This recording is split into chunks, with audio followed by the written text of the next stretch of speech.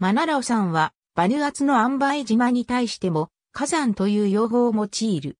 青葉、または、青葉は、ボルケーノワールドにおける火山の名称である。マナロは、山頂の火口を指す際に使用する名前であり、複数の火口と湖を含んでいる。青葉、または、青葉はまたスミソニアン協会によるグローバルバルコネザムプログラムにおいても用いられている名前である。マナロンガルト、ブイコは、そのリストにおいて、山頂の火口に対して用いられている名前である。グローバルバルコネザムネットワークの速報は、青葉が、地元ではマナロ、または、ロンバンボンと呼称されている旨を伝えている。ロンベンベンは、2017年現在地図で、用いられている名前である。マナロベウは、ロイター、アソシエーテッドプレス、そして、ラジオニュージーランドが2017年にそれぞれの報道記事で用いた名前である。マナロは、ブリタニカ百科事典がその、青葉の記事において用いている名前である。この山は、世界で最も危険な状況で活動している火山の一つである。直近の噴火は2017年に記録されている。火山にはその山頂の近くに暖かな淡水を叩いた三つの火山湖がある。すなわち、マナロンがある、フイ、そしてマナロレイクアである。河口内にある V 湖は、そこだけでも5000万立方 M の水を有している。火山の最近の活動史には、1966年、2005年、2016年の噴火も含まれる。1995年には、V 湖の湖水の温度が上昇し河口から黒煙も上がったことから、数千人の島民が噴火に備えた避難の必要性に迫られた。2005年11月から12月にかけての噴火では、火山の近くで暮らしている5000人以上の人々が安全を確保するため避難することとなった。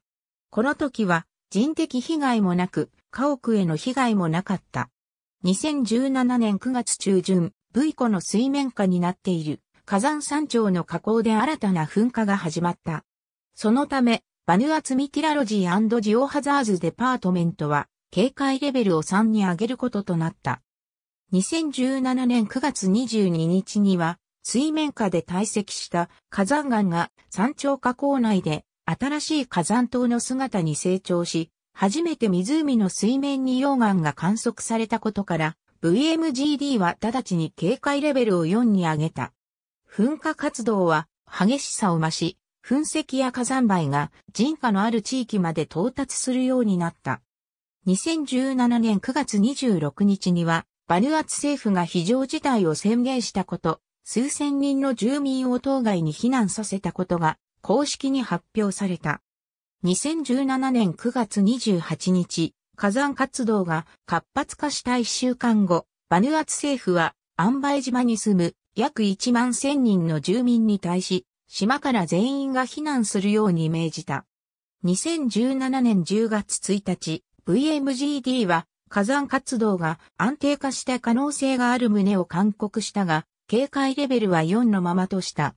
2017年10月4日、少数の住民を除く約1万1500人の全住民がアンバイ島からの避難を終えた。バヌアツ人によって始められて実行された草の根的な奮闘による近隣の島々への避難であった。警戒レベルは4に止められた。